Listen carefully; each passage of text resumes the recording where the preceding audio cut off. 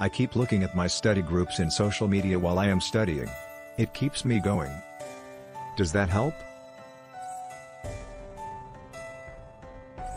You are allowing your concentration to wander.